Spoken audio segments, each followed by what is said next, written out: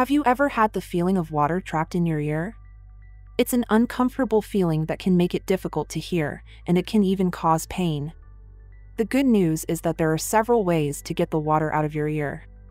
This video will outline what causes water to become trapped in your ear, and it will provide 7 ways to get the water out of your ear. What causes water to become trapped in your ear?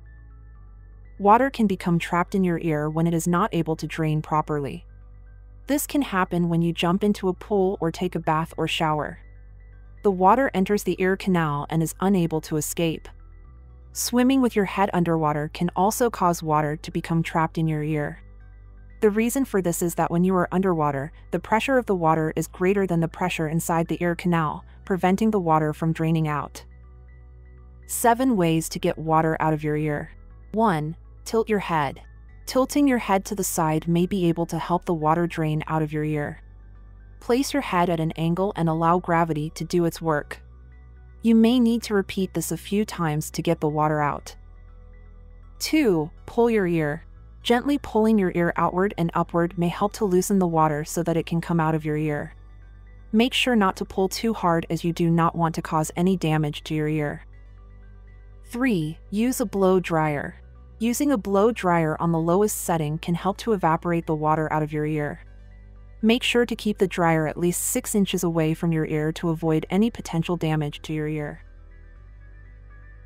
4. Use hydrogen peroxide.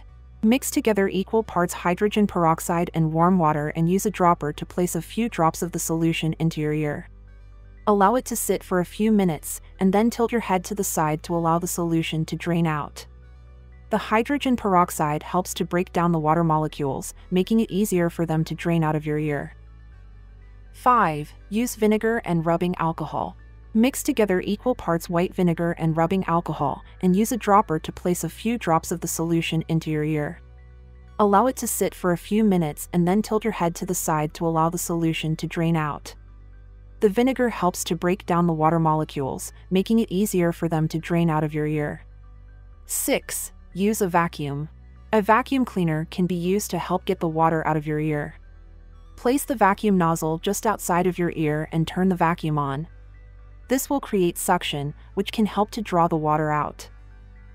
7. See a doctor. If none of the above methods work to get the water out of your ear, you may need to seek medical help. Your doctor can use a special tool to draw the water out of your ear. Water can become trapped in your ear when it is unable to drain properly. This can cause discomfort and even pain. The good news is that there are several ways to get the water out of your ear. This video has outlined 7 ways to get water out of your ear, such as using a blow dryer, using hydrogen peroxide, using vinegar and rubbing alcohol, using a vacuum, and seeking medical help.